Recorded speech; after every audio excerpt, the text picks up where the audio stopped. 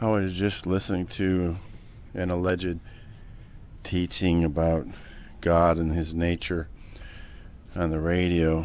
It doesn't matter who it was because they all teach the same thing. It's funny, I observe politics in the world, and it's obvious when you look at the so called news business. It doesn't matter where you look, they all say the same thing. Every channel, every newspaper, they all say the same thing. So you don't have to worry about missing one. You miss one, you just go and see the other one. They all say the same thing, and in religion, it's the same thing, even though they argue with each other. Unlike those uh, political news deliverers, so called, they argue with things that have nothing to do with anything because they essentially agree with each other about everything. And that's the main point is God is managing and even micromanaging us through means of punishment, through means of damaging us, causing fear, causing respect, causing honor, through his power to bring suffering.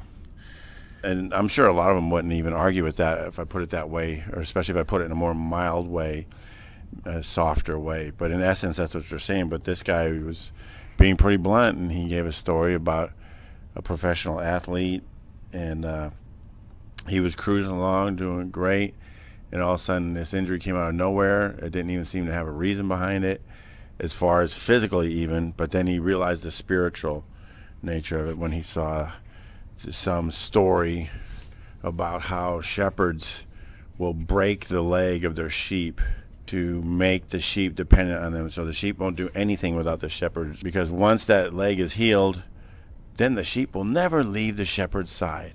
And then he said in no uncertain terms, you know, God just has to break your leg sometimes. Uh, they weren't shouting amen a lot, but I'm sure they're in agreement with him. This is not a revolutionary thing. I used to believe some form of that. However skeptical I was of it, I was taught to believe that. And to the extent I didn't believe it, I was probably immature. And I'm just so glad to be free from that. But I just wanted to put that down. That, that It's amazing to me that that we are taught not only that God will leave us and forsake us, he'll he'll break our legs, he'll bring tremendous suffering to us simply for the purposes of getting what he wants, which is us bowing and scraping so we can get what we want. And if you try to analogize that or translate that into a human to human relationship, I think most of us would agree that's pretty sick. If you had this friend who is willing to bring suffering into your life to to get you to do what he wants you to do or she wants you to do.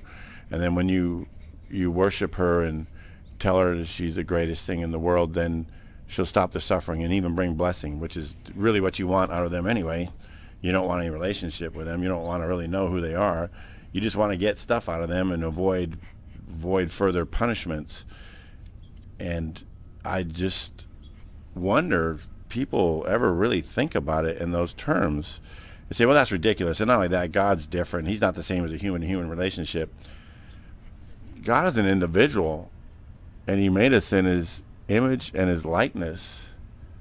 He related to Adam in a pretty clear way, I think. They did things together. He he made the animals, he brought them to Adam, and Adam named the animals. He provided for Adam. Yes, that's true. But he wasn't in the process of managing Adam's life, do this and don't do that, or else you're, I'm going to beat you until you do the right thing. There was one thing he wasn't to do, and I'm not going to get off into what that's all about, but it wasn't about micromanaging his life. Adam had free rein in the garden to do as he would. There's only one thing he couldn't do, and he did it.